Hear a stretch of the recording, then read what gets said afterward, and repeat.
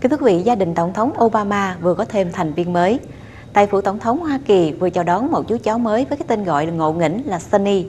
Tổng thống Obama cùng đệ nhất phu nhân tiếp nhận một thành viên mới trong gia đình, chú chó Puppy nhỏ bé với cái tên là Sunny với nhiều ý nghĩa mang lại một cuộc cách mạng năng lượng, sử dụng sức nóng từ mặt trời chuyển thành nhiệt điện. Theo bản tường trình từ Nhà Trắng, Sunny sinh tại Michigan vào tháng 6 năm 2012, cũng giống như chú chó Bo. Chú Sunny là giống cái, thuộc giống chó nổi tiếng thông minh, Portuguese. Tổng thống Obama rất thích loài chó này vì rất năng động.